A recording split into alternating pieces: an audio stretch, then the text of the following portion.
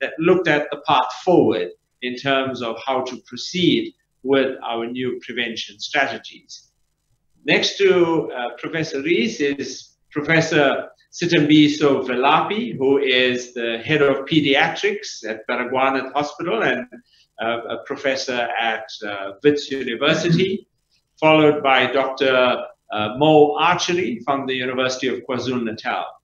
Professor Velaphi and Dr. Archary led technical working group in the Ministerial Advisory Committee that looked at the issue of uh, children, because both are pediatricians, looking at the issue of what is it going to take for us to uh, uh, have children go back to school in relative safety. And then finally, Professor Gesine Meyer-Rath, who is from the University of Witwatersrand, and she is uh, the person who is one of the leaders of the technical working group in the Ministerial Advisory Committee, looking at how we should best use our available resources in, uh, in the COVID-19 tests that we have available. So it's uh, my pleasure to have uh, members of the Ministerial Advisory Committee available uh, in, in joining us in this call. What I propose to do in the next 15 to 20 minutes is I'd like to share with you uh, an, an overview of what are we trying to achieve. And I find that it's always helpful to have a clear perspective about ensuring that we keep our eye on the prize and what is that that we're trying to achieve. I'll talk about the coronavirus prevention toolbox, and I'll talk about some of the trends that we're seeing in the COVID-19 epidemic before I end off with touching on the issue of the hotspots and this particular stage of the uh, response before making some concluding remarks. So the primary objective, the primary goal of the South African COVID-19 response is flattening the curve. And what do we mean by flattening the curve? Well, essentially, we are trying to avoid a rapid increase in new infections to the point where it would overwhelm our healthcare services.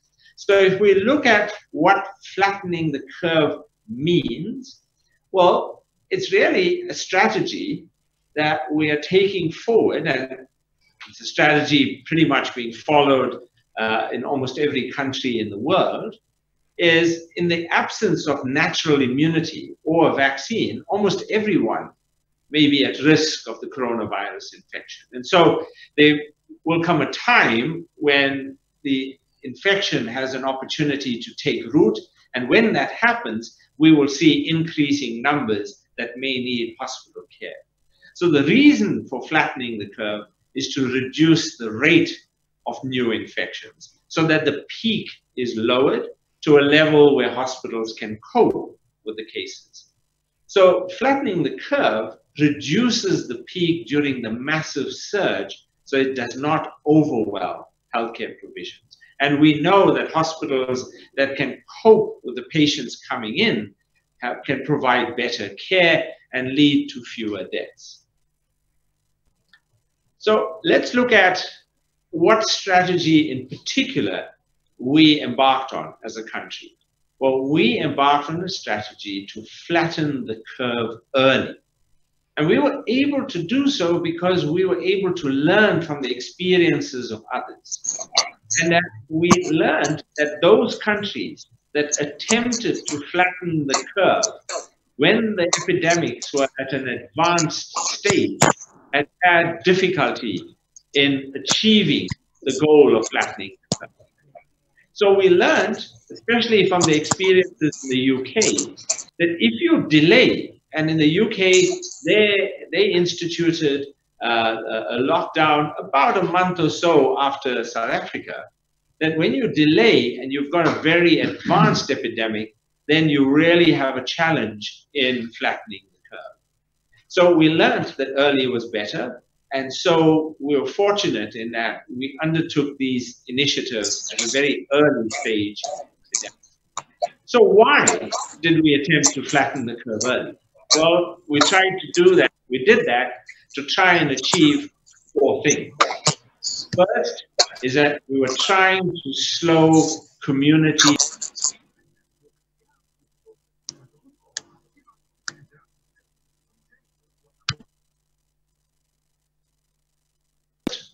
goal, the first reason why we were trying to flatten the curve early was to slow community transmission. We wanted to avoid a situation where the virus became widespread in our community and was being transmitted. The second is that we wanted to get some time, and that time was to give us the opportunity to expand healthcare capacity, especially ICU and high level care. And if you look at the picture on the right hand side, you, it's unrecognizable that that is actually the Cape Town International Convention Center that is now being established as a field hospital. The third was to provide time so that we could better prepare and equip our hospitals, ensure that we obtain the necessary PPE and provided the opportunity for healthcare workers to get ready for the surge of cases that may be coming. And then fourthly, was to provide time to scale up our testing and our prevention strategies. And in this particular instance, our approach of instituting a huge community program where we've screened just about 13 million people. So we aim to flatten the curve early to achieve these four things. So why do we talk about flattening the curve? Why not talk about eradicating or eliminating this virus? Why don't we aim for a situation where we, we just get rid of this virus? Well, the reality is that it's very difficult to do so. It is very difficult to stop the spread of this virus. And the reason for that really revolves around these five characteristics. The first is that even before a person becomes ill with the coronavirus infection, for several days before they have symptoms, they are already infectious and they are already spreading the virus to others. And so household contacts become infected. Uh, people they interact with in public transport, in a range of different settings, can get the, the virus from somebody who hasn't yet shown symptoms. The second is that we have, and we think, because we haven't been able to measure this accurately in many parts of the world, including South Africa, but we think that somewhere between 20% and 50% of infections are very mild. So we call these asymptomatic uh, infections, where the person does not know at all that they've acquired this particular virus. But even though they do not have symptoms, they are still infectious and they can spread this virus. The third is that this virus spreads rapidly, much more rapidly than we've seen with other infections, such as influenza. And so before we can even catch up with trying to find the cases, the virus has already spread. In that we know that it can infect from each infected person can infect up to two others. The, the fourth uh, reason why it's so difficult is because this particular virus is also associated with super spreading events. We saw this in particular in the one case in South Korea, where the first 30 patients, they were able to control the amount of spread by identifying all those who were in contact with the person, by doing contact tracing. They were able to put in quarantine and they stopped the spread of the virus. However, patient 31 in South Korea was infected. She went to church. She then went to a buffet lunch. She then went to the hospital where she had a test. And when she had done these things, she had exposed thousands of people there were hundreds that became infected through the buffet lunch. So you get these super spreading events. And because so many people get infected, it's really difficult to find every one of those cases and to stop the infection from spreading. And then finally, even when you do get the spread under control, because we do not have adequate immunity, you always run the risk of repeated waves, of outbreaks and the new epidemics coming. For example, Singapore, which for many days had the epidemic under control, with very few and almost no uh, indigenous uh, infections occurring. And then suddenly they have an outbreak. Several hundred cases occurring in, the, in one particular residential complex for migrant workers. So it is very difficult for us to simply eliminate this virus. And so we have chosen an alternative, which is to flatten the curve. So how do we do that? Well, most countries in the world have chosen to go with a strategy that was first implemented in China, known as a lockdown. We've in the process of a lockdown. We are now in the easing of the lockdown. So we know all of the challenges that that is associated with, but we also need to get some understanding of what did it achieve. Well, let's have some idea of what happened. In the three weeks from the time we had the first case to the date of the lockdown, the epidemic was growing at a rate, and we use, I've used for this purposes of this presentation, something called doubling time. So how long does it take before the number of cases doubles? In other words, the size of the epidemic doubles. Well, in the three weeks before the lockdown, the epidemic was doubling every two days. And indeed, if it continued along a trajectory like that, we would have had an epidemic that would, we would have been very similar to what you see in the UK, which is tens of thousands of deaths and uh, hundreds of thousands of infections. But since the, we instituted the lockdown, and over the period of the lockdown, the doubling time diminished drastically from two days to 15 days. So now the epidemic is only doubling roughly once every two weeks. So we went from doubling. Can we mute, can we mute this line, please?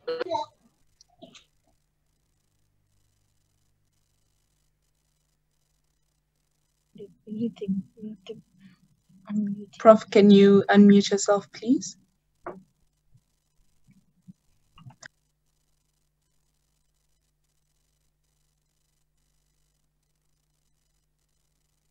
So we went from a situation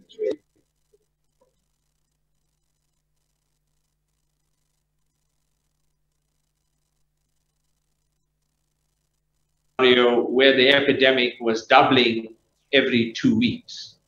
Since we started easing the lockdown on the 1st of May, that doubling time is starting to slowly quicken. We are now at a doubling time of around 12 days. If you look at the situation that we have been trying to uh, deal with, is now we are trying to implement the full coronavirus prevention toolbox. One of those tools is the lockdown, and that's what we have implemented, and now we are in the process of easing that.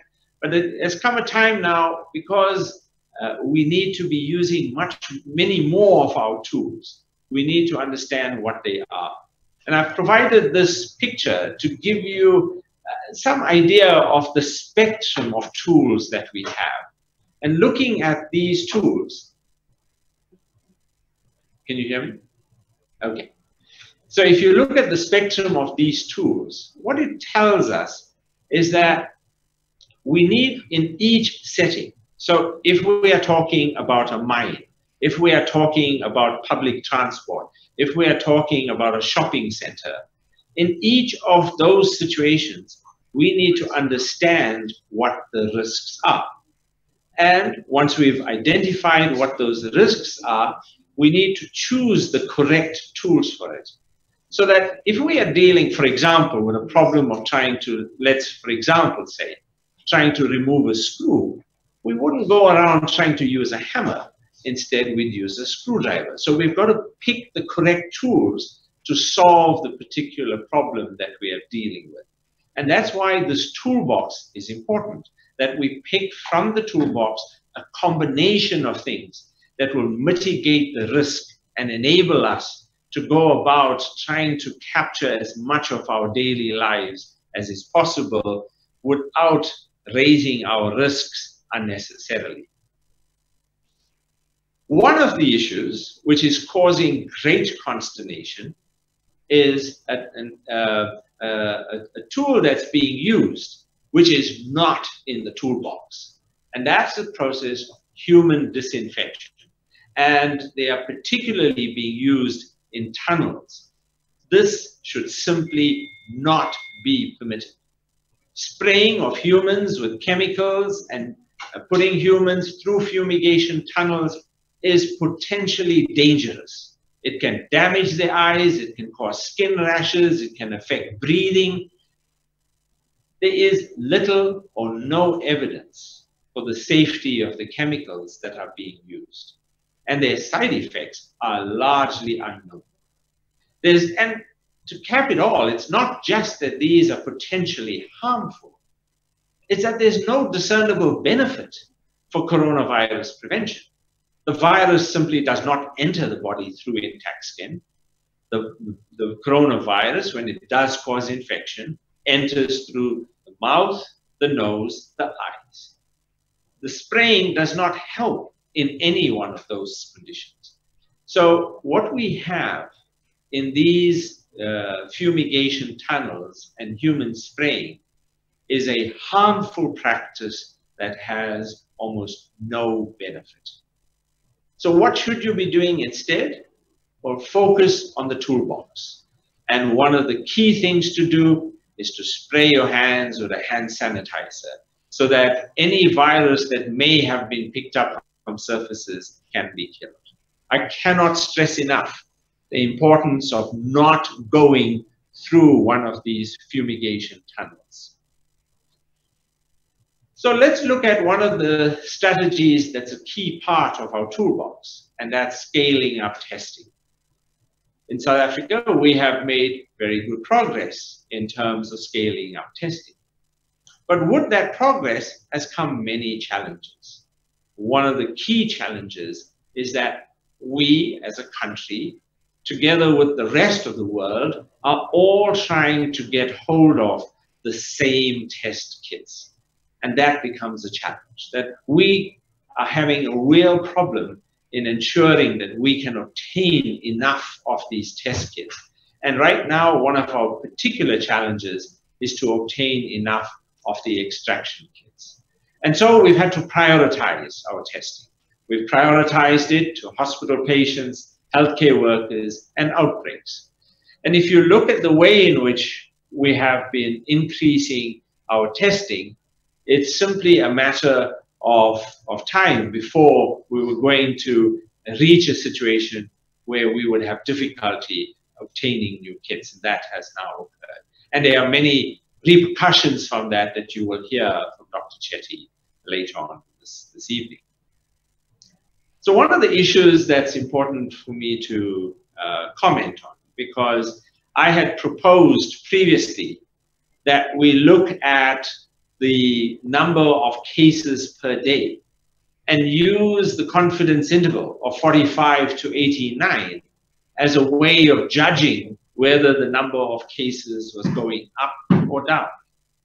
But that approach is only applicable when the number of tests are not changing substantially.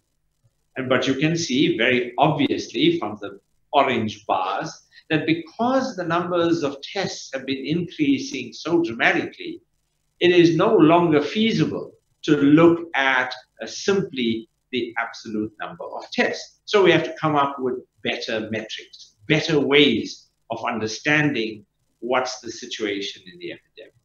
And it's illustrated when you look at the first week of the lockdown. So in the lockdown period, during that first week when the lockdown started, uh, the number of cases declined from 111 to 76.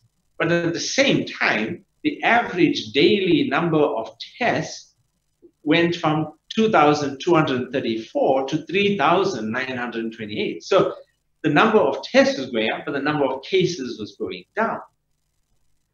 Compare that to the situation in the first week after the easing of the lockdown where the number of cases went up from 242, and that's the uh, number of cases, the daily average, to a situation where we have 369. But that is accompanied by a dramatic increase in the number of tests from 12,000 odd to just over 15,000. So you cannot simply look at the number of cases any longer. That was only feasible very early on in the epidemic. So what is it that we should look at at this time? Well, there are many different measures. We look at in, in the Ministerial Advisory Committee and among epidemiologists, we look at a range of different measures. We call them the reproduction number. We call it the effective reproduction number. We look at doubling time. Well, there are many things. The WHO recommends several of these measures. But one of the things that's proven to be very useful, and it's widely used in many countries, including the US, is what proportion of the tests that are being performed are positive. And I'll refer to this as the positive test proportion. So if you look at this graph, it provides for each week since the start of the coronavirus epidemic, it provides the total number of tests that we did in each week. So the first week in the, in the epidemic, we did 443 tests. The following week, 723. The following week, 1,998, and so on. And so that's listed with the N. If you look at the most recent week, which is not a complete week yet, we've uh, performed 39,170 tests. So what we need to look at is what proportion of those tests are positive. And you can see that since the initiation of the lockdown, we have had our positive test proportion has been steadily declining and it's remained within this narrow range between 1 and 3%. And it's giving you some idea, about 3.4%, it's giving you some idea that overall in the in the rest of the country, because this excludes the Western Cape, that in the rest of the country, besides the Western Cape, the overall level of positivity is low. And it indicates to us that the level of community transmission by extrapolation is low. And we can divide these samples into different strata. So if we look at hospital patients only, the, the percentages don't go up that much. If we look at only our community screening, the percentages go a little lower. But overall, it doesn't matter which group you look at, the percentages remain low. Compare that, remember that this is the other eight provinces, Compare that with the Western Cape. And what you see is a dramatically different picture. In the Western Cape, you can see how week by week, the number of tests have been going up. So if you look at, you know, four or five weeks ago, they were doing about 10,000 tests that week, went up to 12,000 tests, 13,000 tests, almost 15,000 tests. And so as you look at the increasing number of tests, what you see is that not only are the tests increasing, but the proportion of tests that are positive is also increasing. And if you divide that into hospital patients and community or contacts or outbreak investigations, you see that these increases are mirrored in both situations. So this tells us that we have a different scenario in the Western Cape compared to the rest of the country. And in this graph, I put the same two uh, sets of bars together so you can see the comparison. That in the Western Cape, we are dealing with an epidemic that is growing rapidly. In the rest of the country, we are dealing with an epidemic that is at a low simmering level. What is the situation? Why are we seeing this picture in the Western Cape? Well, we can look at it across a range of indicators. That when you look at the Western Cape, that you see that not only is the number of cases high and the incidence risk is high, but they account for just around two thirds of all our cases. And they account for about two thirds of all deaths. And that is reflected in the continuity between having cases, having hospital admissions, and having deaths. It would be unusual, if not impossible, to have a situation where you would have a dramatic number of cases that you simply don't know about because it would manifest either in hospitalizations or in deaths. So we can see that the picture in the Western Cape is substantially different from the remaining provinces. There's another way of looking at that. If you look at the incidence risk, you can see that all of the provinces are at the bottom end of this graph. But the line that's rapidly rising is that of the Western Cape. So what is responsible for this increase? Or how can we measure this increase before I talk about what's responsible? We can measure it in many different ways. I've chosen to use doubling time. And if you look at the doubling time in the Western Cape, you can see that we went from a doubling time during the lockdown of 18 days to a situation now where in the Western Cape it's doubling every nine days. When the epidemic gets into its full swing, generally the doubling time is around four to five days. Now you have to be somewhat circumspect at looking at these data because you do need to have adequate numbers of tests being done in order to be able to get a very accurate measure. So this, in the interpretation of these numbers always has to be tempered with an understanding of the limitations of these data in that we simply do not have enough tests and that we have backlogs in terms of being able to obtain the accurate numbers on a daily basis. Compare the nine days doubling time in the Western Cape to Gauteng, where the doubling time is 24 days, or KwaZulu-Natal, where it is 26 days, or the Eastern Cape, where it is 12 days. So if we look at this situation, we again are getting a sense that the Western Cape has a very different picture.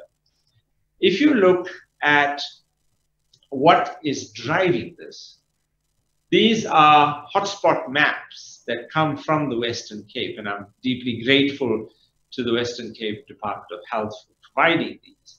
They give you some idea of what the actual distribution is. And in the Western Cape, what occurred was in the latter part of the lockdown, the strict level five lockdown, we saw outbreaks occurring. Most of them occurred in grocery stores and supermarkets. And when you have those kinds of outbreaks, they very rapidly lead to a situation where customers uh, lead to infecting staff, or staff get infected in the community and come into the store. They contaminate the store, it spreads to other staff, spreads to customers, and before you know it, you now have widespread transmission. But what's important is that in the Western Cape, they've been able to identify these hotspots. They have been able to identify the sources of these uh, transmissions. And it's very likely that in many of these hotspots, they were associated with super spreading events. We don't have definitive evidence of that, but it's suggestive that it was accompanied, these outbreaks were accompanied with super spreading events. And the Western Cape has developed a very specific hotspot strategy that's focusing on dealing with this problem at a very local level because we've got to try and slow the number of cases in order to ensure that we are able to cope. And so when we look at our response, when I first described our response in its eight stages several weeks ago, I said that we were completing the first four stages. And we are now at the tail end of stage four, and we are about to end active case finding from community uh, screening. And we are now in full swing working on stage five, which is hotspots, where we are trying to identify those particular points at which the epidemic is going to take off. I described it in my previous presentation as we have to look for the flames and we have to douse them before they become raging fires. And so that means we have to have surveillance. It means we need to be able to identify where these hotspots occurs, which means we have to be able to test. We have to intervene. We have to understand why the virus is spreading.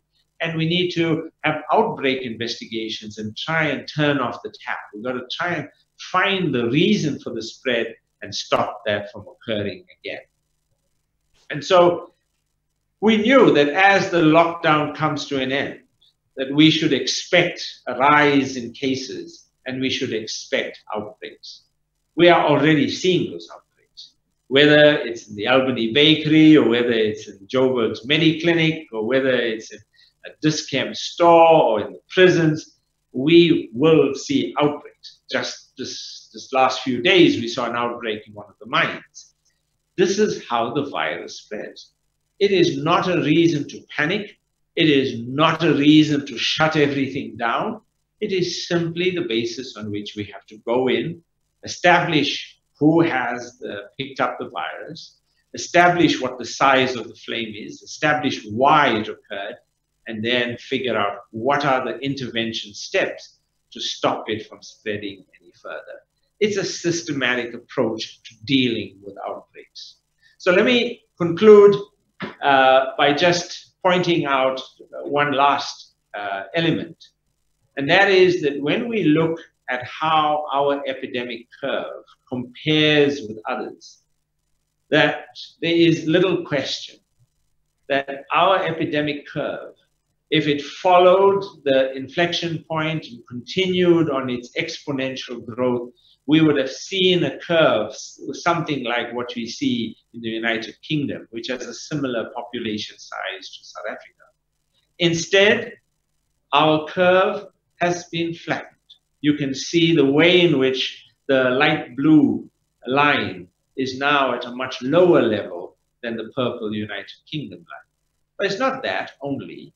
South Africa's line is among those epidemics that are the least uh, severe of all of the epidemics. We are, we are keeping company with South Korea, Australia, and so on. However, if we do not ensure that we continue using our prevention toolbox, that line could very easily rise rapidly and join the lines that we see in the UK and in the US. So that brings me to my concluding remarks. That South Africa has averted the exponential curve we anticipated and that we were expecting to see in March.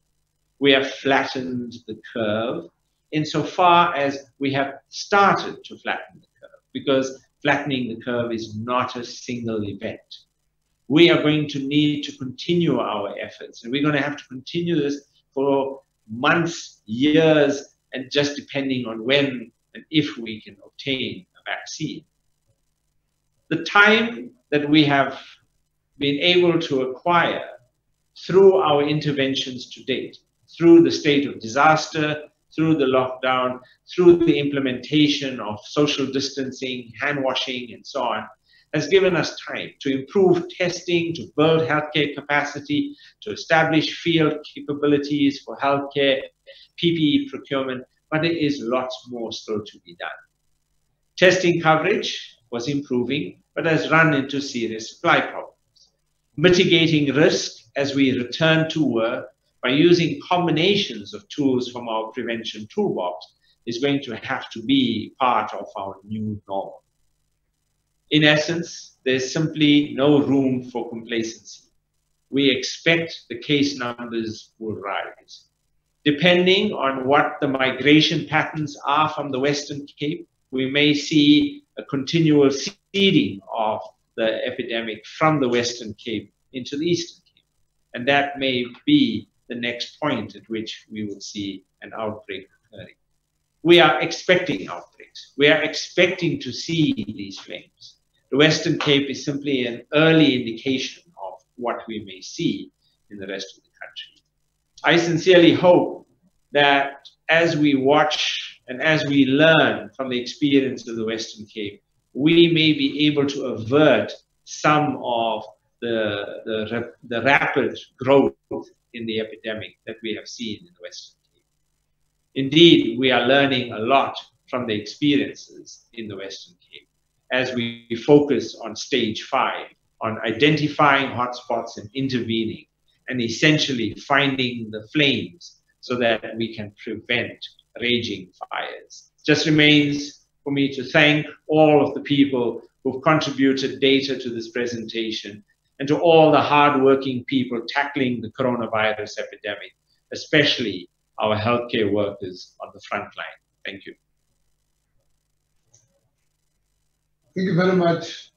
Thank you very much, uh, Professor Abdool Karim, for that very enlightening presentation We'd like to call onto the stage now Dr. Kamy Chetty to table a brief presentation on the testing uh, within the National Health Laboratory Services. Dr. Kamy Chetty, please come uh, uh, on stage with your presentation. Thank you very much, Minister. I'm just going to share my screen.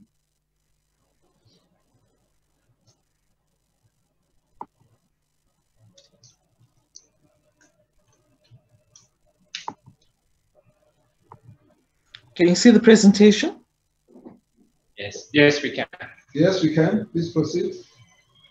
Okay, uh, thank you very much, uh, Minister. I'm going to focus on the uh, unprocessed specimens uh, of COVID-19 testing uh, in the, the, uh, the NHLS. Um, as at 28th of May, the, the, the number of unprocessed specimens was about 83,000. Um, and uh, as indicated, was just uh, despite a massive increase in the number of tests that we were performing in, in the NHLS. Uh, as you can see from the table at the bottom, our figures have more than doubled between April and May. Um, so you can see that in March we did about uh, 6,000 tests. In April there was a, a huge jump, we went to 94,000. And in May alone, we've, we've done about 232,000 tests. But despite that, the, uh, the number of, of samples that we were receiving exceeded the capacity that, that we had, and, and that's why we uh, ended up with the, a, a, number of tests that are unprocessed. And also, just to give you an example of how we are uh, trying to uh, escalate the number of tests that we are doing, during this week, just between Monday and Thursday, that's about uh, four days, we've already done about 39,000 tests. That represents about 42% of what was done in April alone. Um, just to give an idea of uh, uh, the reason as to the unprocessed specimens in May, the, the problem really started in the first week in May when uh, the demand exceeded supply. And that was due to a global shortage of the extraction and high throughput kits. And I'll talk a bit around the high throughput kits. We also, the month of, of uh, May was uh, a really problematic month with uh, a number of logistical issues. Uh, some of our suppliers had interruptions with production. Uh, their, their, factories had to, to close down uh, when, when patients test, tested positive. There were lots of flight cancellations from a number of different countries. Uh, we had problems with custom delays. We also had lots of problems with closure of services uh, during the public holidays. Um, one, one of the other issues that we also had to deal with is that it's not a normal uh, demand and, and supply uh, issue. When we, we normally order tests, we determine the number of tests that we want. We place an order to the supplier, and the supplier gives us those tests.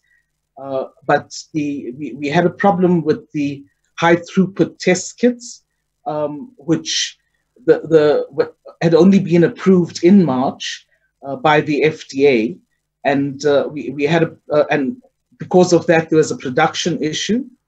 Um, so, so we couldn't, even though we were ordering the number of tests that we wanted to do per day, uh, that uh, we, we weren't getting those supplies.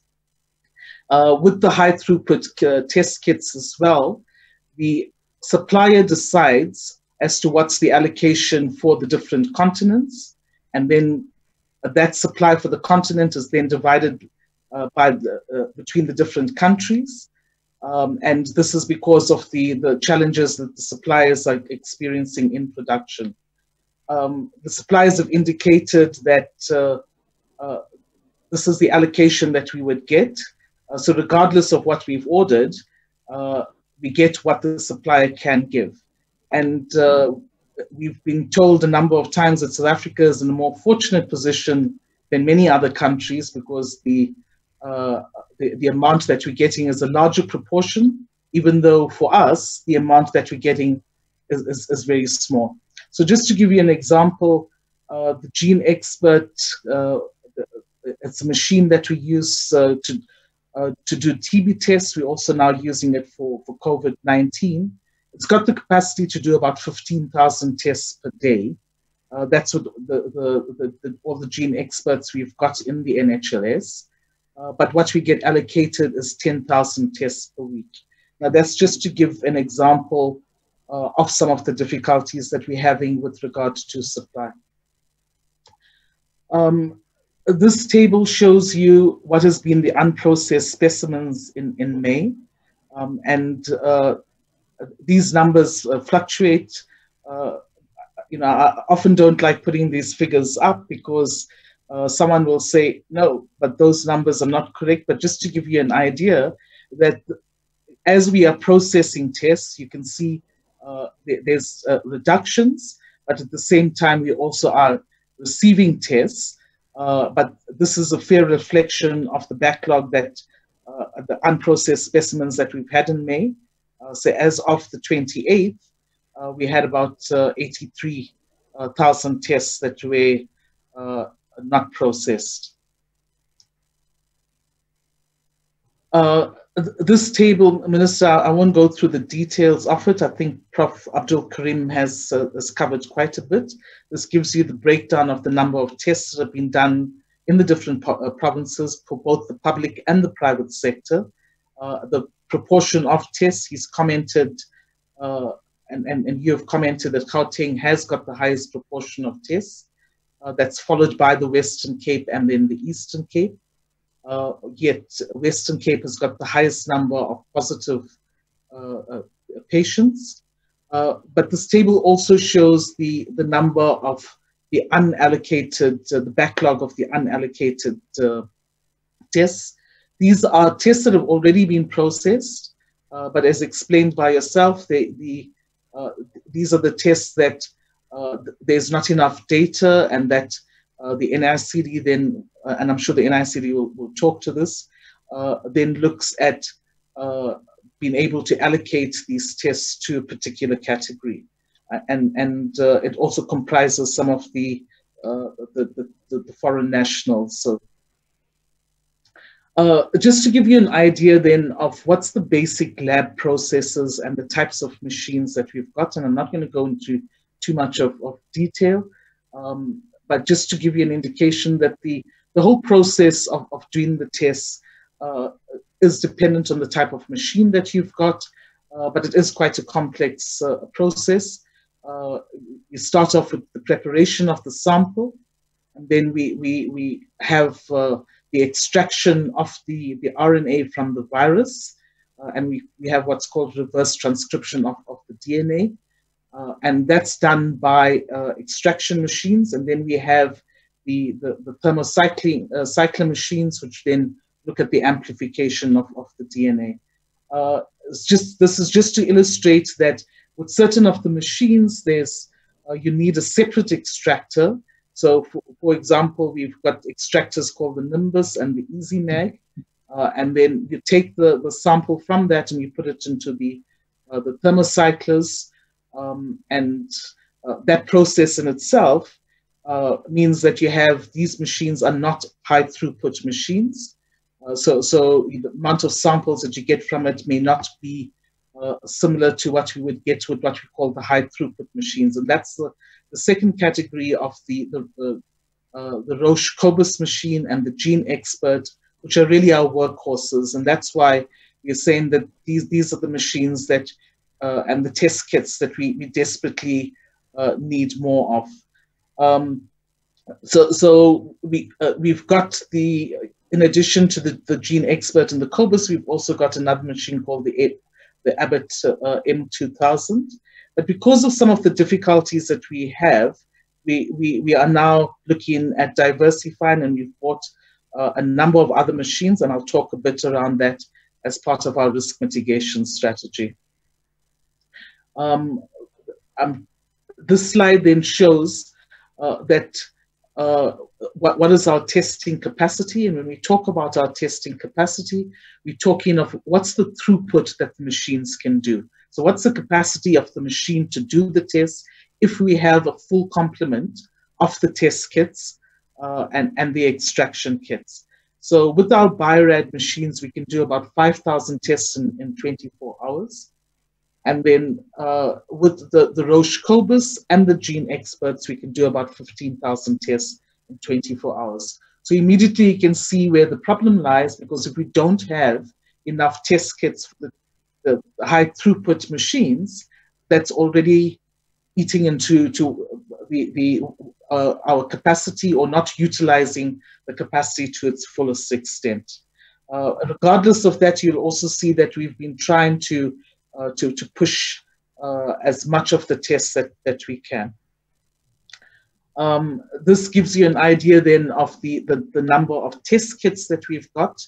Um, that's the PCR test kits. We've broken it down into the, the open platforms, and you can immediately see that in the country, we've got quite a few PCR test kits for the open platforms. Um, so, so we've got over half a million. We've made sure that we, we, we try to stock up on that.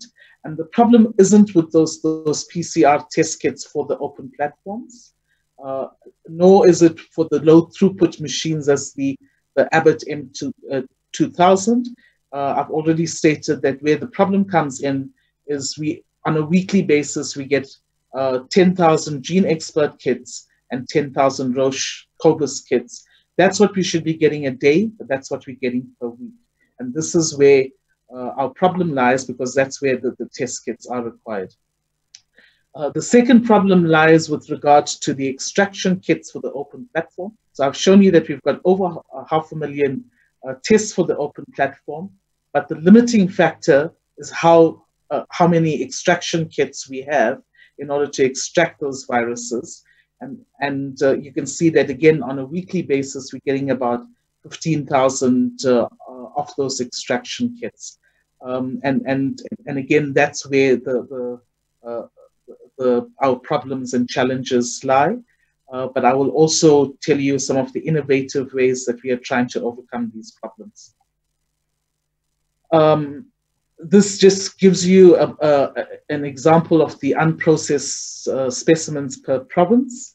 And um, the, the, the, you can see that uh, I'll, I'll discuss some of the strategies that we, we're trying to reduce the unprocessed specimens in uh, and prioritizing certain provinces. Uh, and uh, you know, as I've stated before, is when you put these figures up, then uh, the, you know someone will say, no, no, but we've got a bigger backlog in this province. And uh, you know, I just want to, to, to, to say that uh, some of these figures also uh, the, the, I've given you the definition of what would be a backlog. So if it falls within your particular turnaround time of 48 to 72 hours, those, those numbers may not be included. But as, as I've also indicated, this slide also indicates that the, the numbers do change all the time because as you, you, you process uh, samples, you're also then getting in a number of samples uh, but again, the principle is to say, this is what we, we, we, we're facing with regard to unprocessed specimens, and we're doing our best to make sure that, that, that those numbers get reduced uh, as quickly as possible. Um, so, so how are we looking at the management of those unprocessed specimens? So uh, we, we, we have, together with the Department of Health, have looked at a targeted testing strategy. I'm not going to go into uh, a lot of detail. I think there is going to be a presentation with regard to that. Prof. Abdool Karim did speak to it. Um, the, but we, we, we ha have looked at prioritization of different test categories. And the, the, the categories that, that is prioritized are the in-hospital tests, patients under investigation, the contacts and critical care workers. Uh, we've issued an advisory to our laboratories to color code the testing samples based on those priorities so we're able to process that as, as quickly as possible. And I, I need to assure everyone that the, the uh, uh, inpatients uh, and, and the patients under investigation uh, that we uh, make sure that we try to get those tests done within the, the specified turnaround time. I know that there were hiccups, but uh, we, we uh, right now the, this we're working on making sure that all of that gets cleared. Our biggest backlog of unprocessed specimen lies with the community screening and, and, and testing. Uh, the other priority patients uh, have been prioritized. Um, we're also monitoring the, the positivity, the, uh, the rate of positivity in the provinces, and, and we're prioritizing our resources to the high positivity hotspots. Uh, I'm not going to go through the details here because uh, I think Prof. Uh, Abdool Karim has shown a lot of graphs, but this is just to indicate to you, uh, we've grouped together the Western Cape and the Eastern Cape as uh, two of the areas with high positivity rates. We monitor it on a daily basis to look at the number of positive cases we get uh, uh, in, in, in the, the different provinces. Here you can see the Western Cape, how high it is, and the Eastern Cape is, is the second uh, challenge. Uh, Gauteng and, and KwaZulu-Natal are the other two groups, uh, and you'd find here that the uh, whilst there are a number of positive cases, the, the positivity rate is fairly stable between 1, 1 to, to, to 2%. In the other provinces of, of in Mpumalanga, Limpopo, uh, and, and, and Northwest and the Northern Cape, we go for days, as you can see on, on the graph, where there's no positive cases at, at all. And, and then we will get some positive cases, but the positivity rates in those provinces is below 1%. So you'll see also in the Free State, Free State had a problem, this is sorry, just for the month of May. Free State had a problem with the, the different incidents, but we've been closely monitoring it and, and the number of positive cases. This is just in the NHLS uh, uh, samples. Uh, there, there is, has been zero for a number of days, and the same in the Northern Cape. Um, part of what we are doing with regard to the, to the unprocessed specimens, the, the Minister uh, of Health has requested us to prioritize the Western Cape because of its high positivity rate and, and containing the epidemic in the Western Cape uh, is going to be extremely important, not just for the Western Cape, but for the whole country. Uh, so for that reason, we've, uh, we've started looking at our high throughput test kits and we have prioritized the Western Cape uh, to get the major part of that. So this week, uh, we, we took about 8,000 of our 10,000 GeneXpert kits and sent it to the Western Cape. By the end of this week, they would have, uh, Western Cape would have received another 10,000 high throughput kits, both GeneXpert and Cobas. Uh, and what we, what our intention with that is to just try to reduce the backlog uh, to the Western Cape so that we don't have any backlog. Uh, but importantly, it's to identify the positive cases in order to be able to contain the ep epidemic. Over and above that, we've prioritized the Western Cape for new e equipment uh, that has been allocated. Uh, we, the Western Cape, for uh, when, when it started off, did not have a Cobas uh, 6800. Uh, we procured one for the Western Cape, sent it through to the uh, to, to the Greenpoint Laboratory. We've procured three additional extractors because of the difficulty that they've had in extraction. Uh, we've bought additional PCR machines uh, uh, for the laboratories. And to the extent now that uh, our laboratories don't have enough space to take more machines, but we are finding solutions uh, with regard to that. And we've opened up the Greenpoint Laboratory, which has been capacitated as an additional testing site. It's become one of our very high throughput uh, laboratories with the number of tests that it's doing. The other province that has been prioritized is the Eastern Cape, um, but we also have a plan in, in place to eradicate the backlogs in provinces that are not as effective, uh, affected, for example, the Free State. Uh, by the end of, of uh, uh, next week, uh, the Free State won't have a backlog, and we'll be systematically doing that with, with all of the other provinces. we've improved workflow through our, through our laboratories. we've now using the innovative methods of uh, of manual extractions, which including heat activation and, and lysis. Um, and this has been done together in, in cooperation, collaboration with the private sector, where we've been exchanging ideas as to what do we do uh, where we've got a shortage of extraction kits.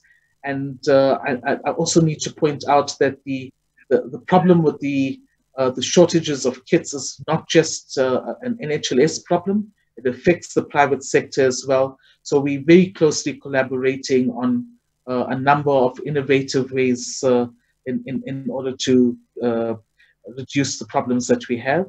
We've also uh, engaged the academic research laboratories uh, and we're working closely with them to also look at how we would be able to uh, utilize the, the, their spare capacity, their capacity as part of our surge program.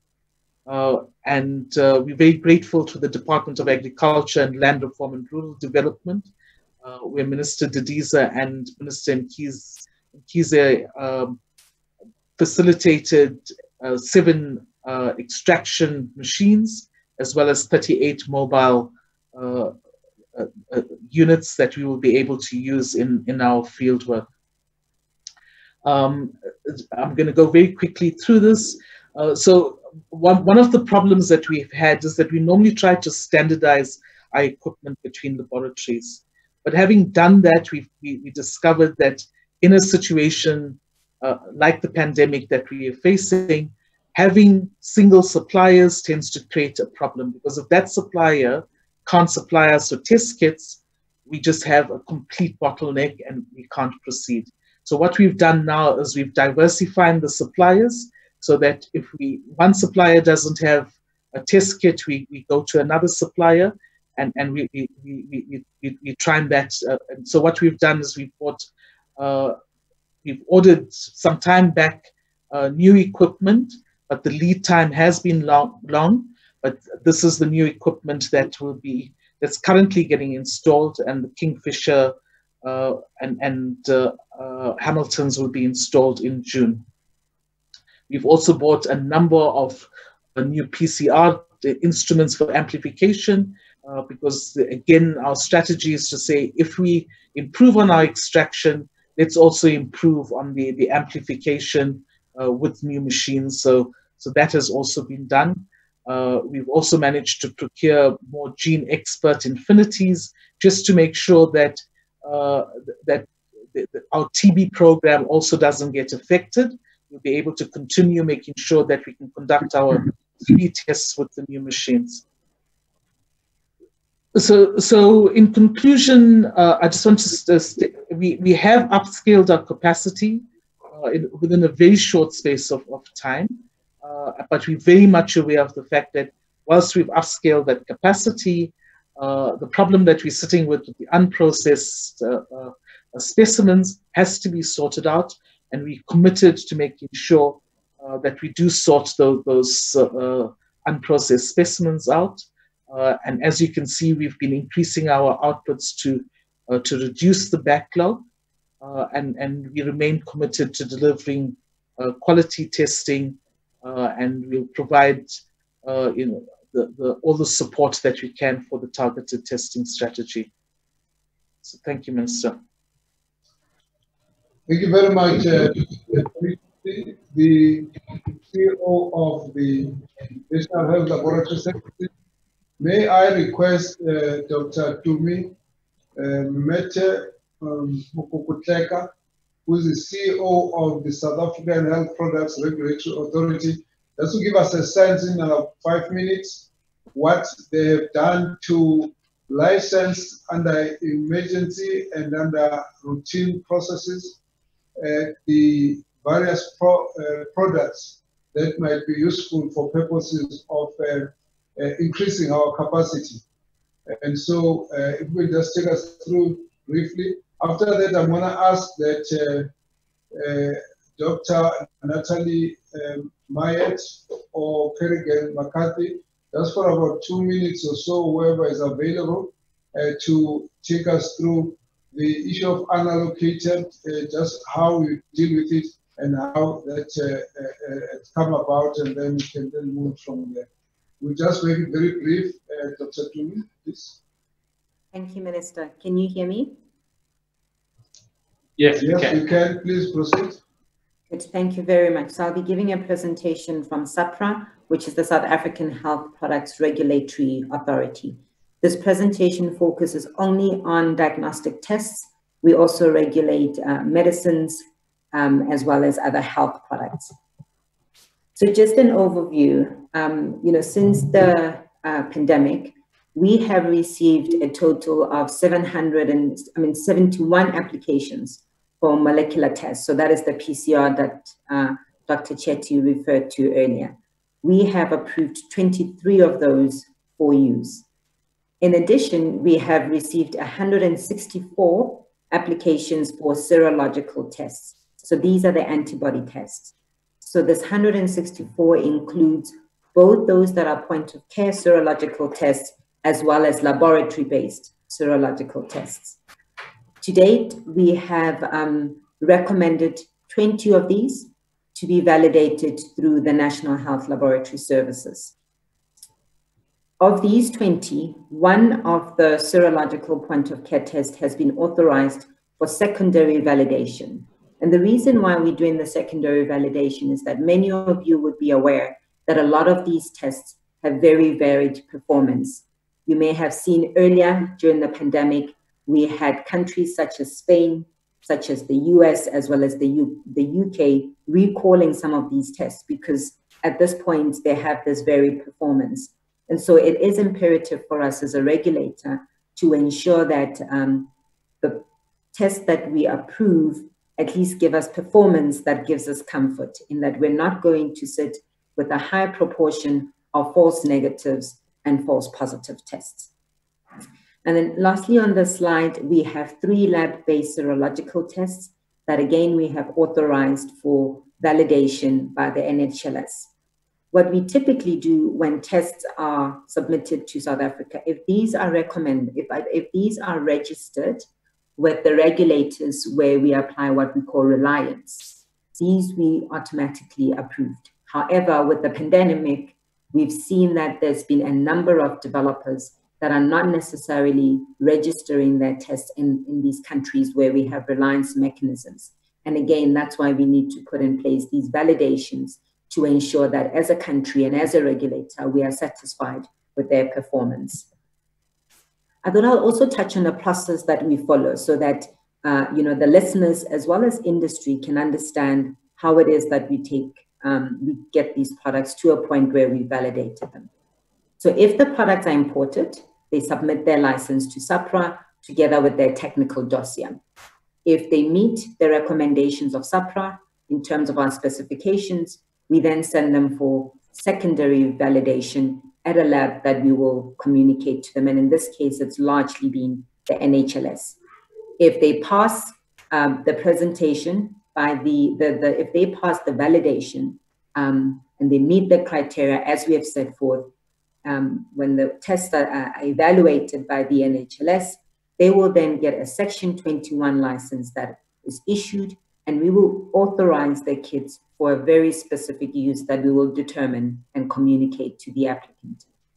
In the event that uh, there is a local developer, and we're seeing a number of these, and we've actually had a workshop with them that was facilitated by the Department of Science and Innovation, where we communicated the process that we follow. So for local um, innovators and, and manufacturers, What they start doing is that once they've got their kits ready, they will then send them first for the primary evaluate validation by the NICD. Once they have then that data, they will then submit that to SAHPRA. We will evaluate that data. And if they then meet the criteria, they will then be uh, authorized again, Section 21, with a very specific indication of the use. So we're very much cognizant of the need to support locally developed tests. So I'm not going to go into too much detail on this slide, but it's just to give you know, the country a sense of the numbers that we're dealing with as a regulator. Um, as I mentioned, we've received about 164 applications of serological tests, and there's very clear process steps that need to be followed. And while we have this platform, I'd also like to make a request to industry that when we send you requests and we require information and feedback from you on queries, we need you to respond timelessly. Because what we're also seeing as indicated here is that there are delays that we're encountering because this, the applicants are not supplying the information in the required time. And the numbers that I've indicated here is what I've shared with you earlier. Typically, this process of registering uh, medical devices takes SAHPRA anything between three to six months. However, being cognizant of the pandemic and the need for us to, to, to respond with speed in support of the labs, we've accelerated our processes. We've even published how we, we, we go about these processes in that it takes us plus minus 18 days to evaluate serological tests and about four or five days to evaluate the PCR tests. So just to end off, um, this is a list of the PCR tests that we have approved, and this list is also available on our website. As soon as we've got serological tests that have been fully validated, they meet our criteria, we will also publish those on our website. Minister, I'd like to end here. Thank you very much. Thank you very much, Dr. Pumi, uh, Tumi Semete Makokotlela, uh, the CEO of the South African Health Products Regulatory Authority. I am fully aware that uh, that whole team, the board, the staff have been working very hard, 24 hours over weekends to try and fast track this one in response to our call for uh, emergency approval to assist us to be able to cope with the COVID-19 uh, uh, pandemic. So I want to say thank you very much for that presentation. Um, let me ask now uh, Dr. Natalie Mayet, if you could just for about two, three minutes just to talk about what are the issues that create the unallocated backlog and uh, what are the uh, what are some of the uh, back office work they do in trying to you know ensure that these are put onto stream just a two, three minutes, uh, brief comment. Dr. Mayet, are you around?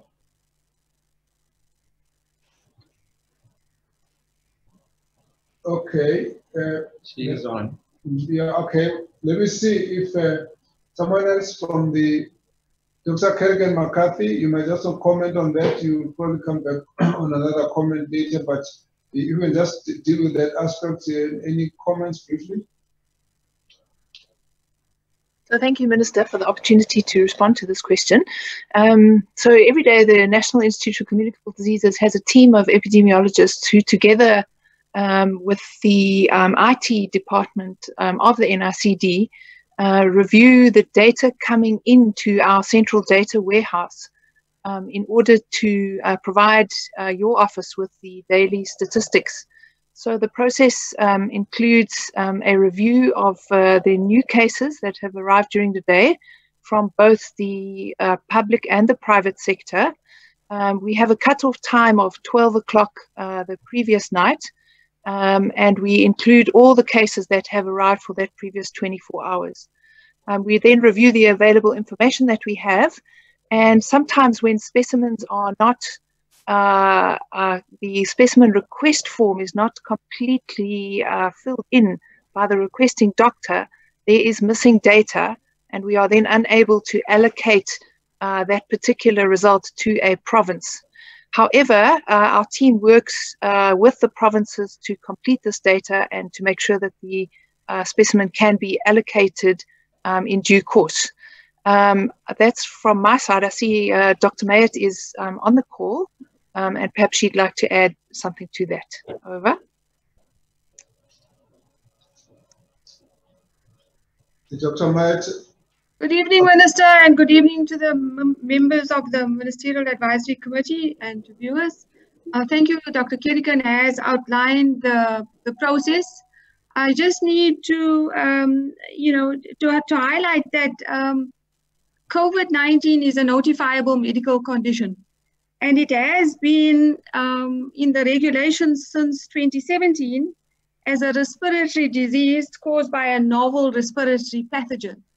And why I highlight that, Minister, is because this is required to be reported within 24 hours by all healthcare practitioners who are seeing a patient with a notifiable medical condition, by all laboratories in the public and the private sector, and by all our medical aid administrators. And this provides the framework for us collecting this data and pulling this data through from the private sector and the public sector laboratory data systems and we utilize and have a cutoff time at 12 o'clock every night and um, then start processing their data from 4 a.m. So as uh, Dr. Kerrigan has indicated, a team of epidemiologists, and we acknowledge the work that they do, process all of these tests from the NHLS system and from the private sector and allocate them to a province. Now, there's a lot of complexity in that process because you may have a driver who works in the Eastern Cape and travels to the Western Cape, gets tested in the Western Cape, but resides in the Eastern Cape. He needs to be allocated accordingly. You may have somebody who resides in Mpumalanga who goes to Pretoria for a test. So we cannot regard that positive test of that individual in uh, as a Gauteng case, but as a Mpumalanga case. So that happens on a daily basis in terms of apportioning and allocating tests to individuals. The NHLS has also collects test data. So that means one individual could have a number of tests. In fact, we have one person in our database who's tested 15 times. The 13 tests have tested positive, one test was indeterminate, and the last test was negative. Now, we cannot count this person as uh, 15 people. We have to count him as one person tested 15 times. So that's the filtration and the sifting process that the teams do on a daily basis.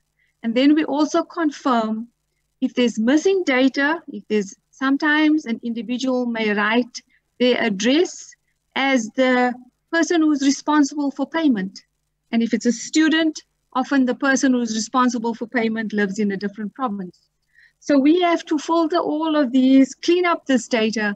And so when we present the case data um, on a daily basis of the positive number of cases, um, we are we um, aligned with our provinces to make sure that indeed they are allocated appropriately and correctly.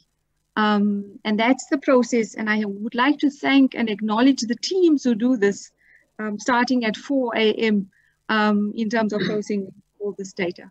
So thank you, Minister, for giving us the opportunity. I would encourage all our healthcare professionals uh, to continue to notify this as a disease because that certainly will give us the insight into the determination of how this um, epidemic unfolds. Over and thank you, Minister. Thank you very much, uh, Dr. Mayet, Dr. and Dr. Kerrigan McCarthy for that explanation. I think it's a very important explanation because every now and again we have had complaints from the media, from Twitter, people asking why aren't we getting these things at 8 o'clock in the morning every day? And they ask why aren't we getting them, uh, you know, at 12 o'clock and so on. At least if everyone would appreciate that there's a lot of disaggregation that has to be done behind uh, the, the scenes to be able to get proper allocation. In some of the cases, the provinces have actually allocated people to go and sit in the laboratories to try and short, shorten the process of uh, identifying the individuals. there have been a few instances as well where the MECs had to call to say the numbers of patients that, of positive cases that have been attributed to them are not as such, and so they're going to then uh, publicly announce that the numbers are not that. And so we have to uh, deal with that to say yes, they have to announce that so that you can go and track the individual uh, because someone would be attributed and yet they are not found there.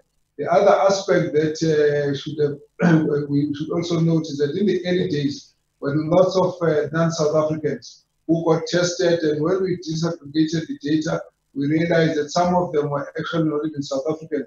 So that's what sits in that pool of uh, backlog unallocated uh, uh, numbers, which uh, is, is an issue that really requires a lot of attention.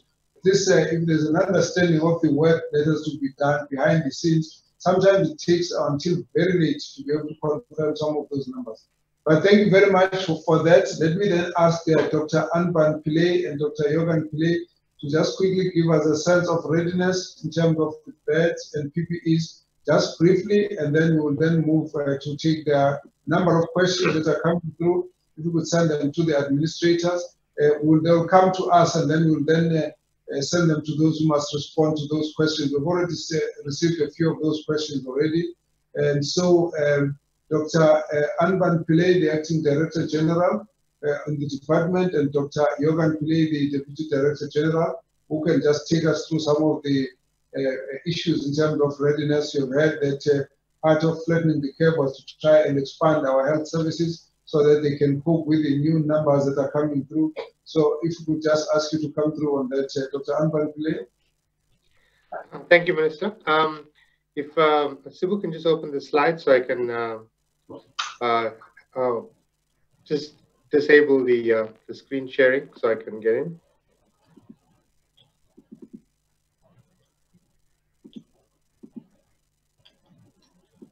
Um, Dr. Pillay, you may share your screen now. Okay, thank you. Can you see that? Yes. Yes. Yes, yes thank okay. you. We can see. Thank you. Um, so I'm just going to go through the uh, hospitalizations. Um, so, so this slide gives you a sense about the uh, number of cases, the recoveries, as well as the deaths. The cases is the cumulative number of people that have been tested positive uh, across the country in the various provinces. That's reflected in the green bar. Um, the blue bar refers to the recoveries, those that have been infected and have recovered. And the, um, the orange bar refers to the number of deaths. You can see that uh, uh, the Western Cape has the highest number of uh, cases, positive cases. There's a significant number of recoveries as well. Uh, and there's, uh, there's 406 deaths in the Western Cape, which is the highest.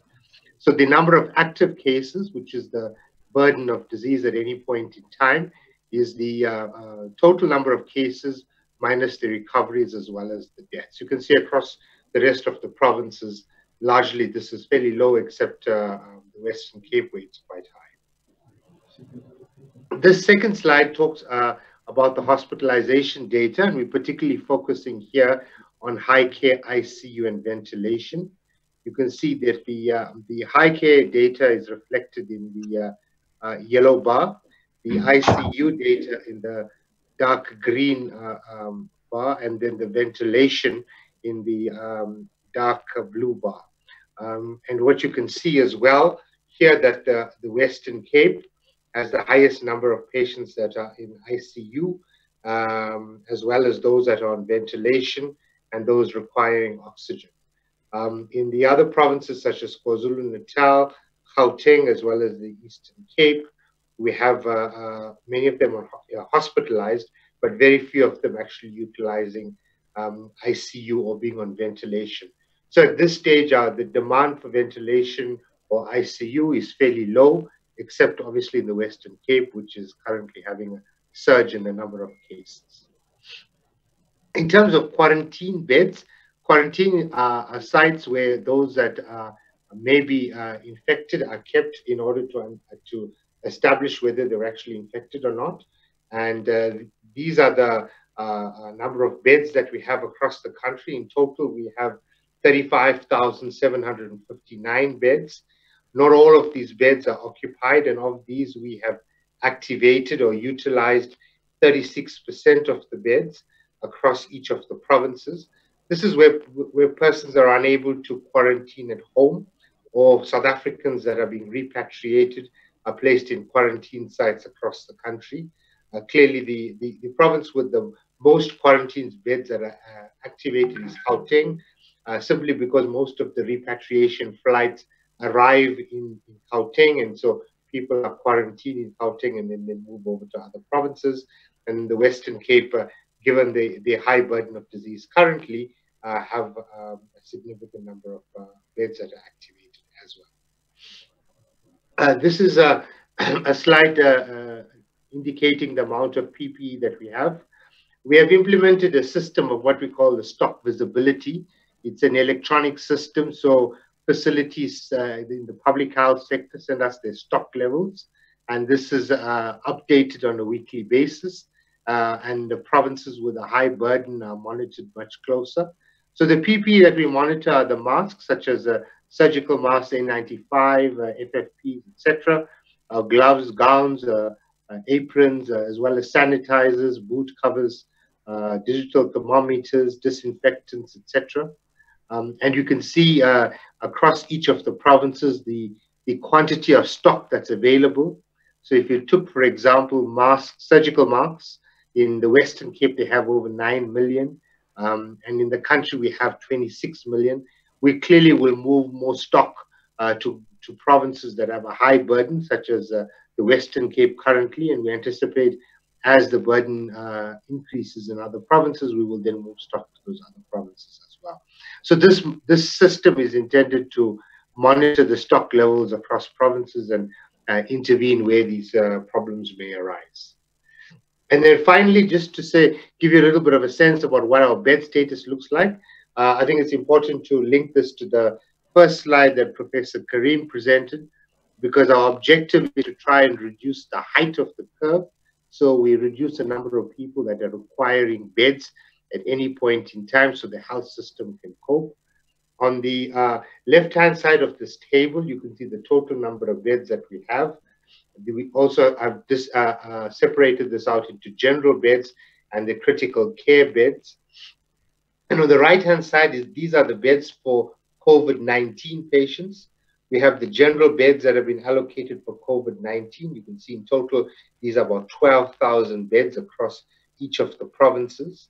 We have then the critical care beds that have been allocated.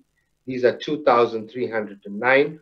And then additionally, we have the field hospital beds, which are 13,129 at this stage. So in total, we have about 27,467 beds that have been allocated for COVID uh, in response to the to the uh, potential surge in the number of cases that would come through. Thank you, Minister. We'll, I'll stop there.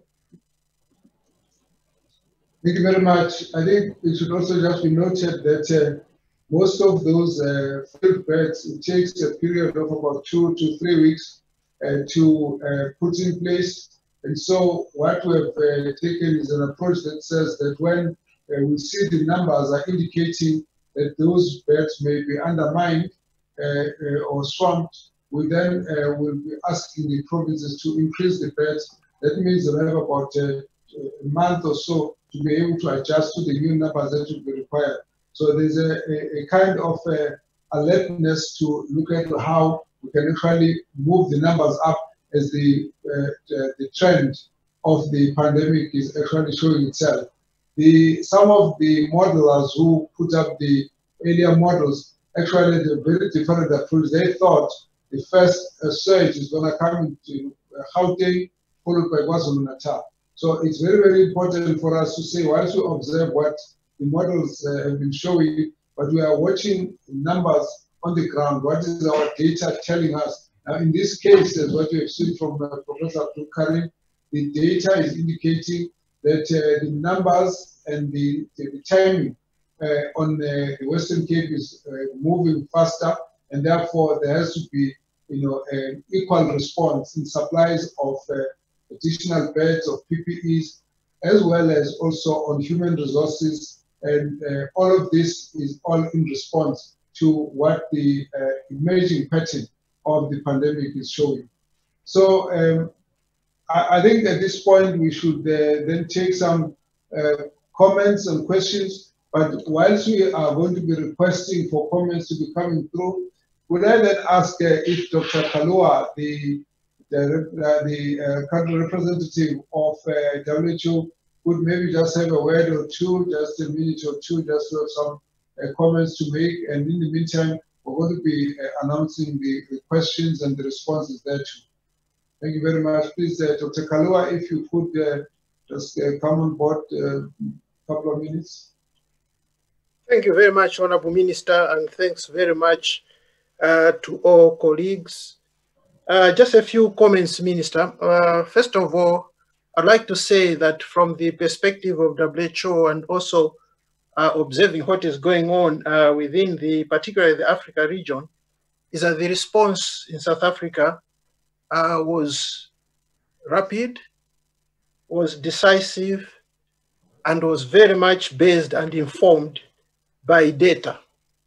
And that is a very important point uh, that a number of countries from the region will have to learn from.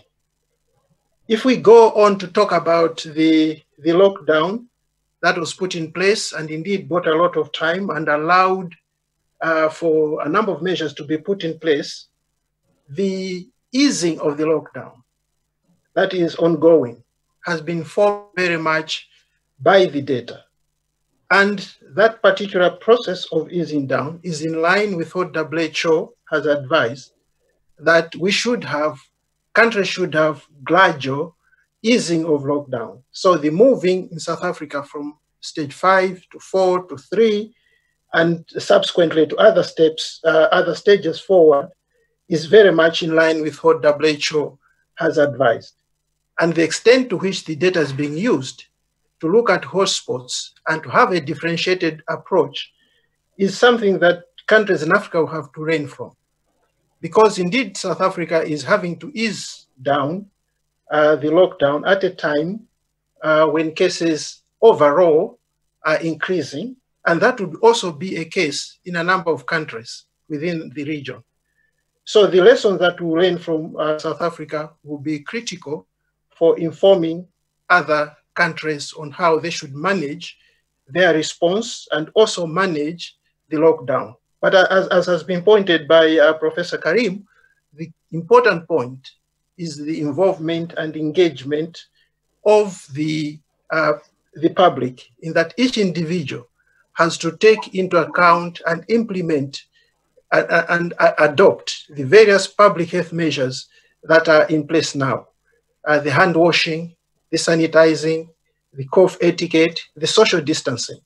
And if each and every individuals begin to adopt this and complement the effort that government and other stakeholders are doing, I think we'll move a, a long way in addressing this um, uh, uh, pandemic. So Honorable Minister, thanks very much.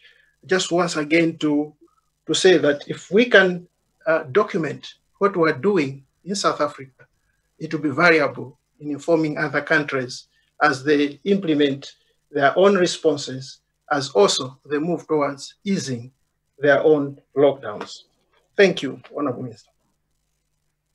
Thank you very much, Dr. Kaluwa, for those very encouraging comments. And also thank you for all the support. If I may as well say that uh, we are very grateful that most of the uh, provinces have got technical support from your office, and we want you to know we appreciate all of that uh, a, very important work. Uh, we've now been asked by media if uh, we could uh, start talking about the numbers for today. So we'll take now another two minutes just to deal with that issue. Uh, uh, what we do is we're going to just share the numbers as you will see them on the on the screen. At this point, uh, I think it's important to indicate that South Africa, the latest numbers, accumulated cases are 29,240 with a new 1,837 cases in the last 24 hours. The national case fatality rate uh, is uh, at 611 at 2% uh, as of today, 29th of May. The numbers of recoveries are 15,093, which is 52%. you will also again see the numbers uh, in terms of the various provinces, the cumulative uh, cases uh, for the uh, different provinces, Eastern Cape,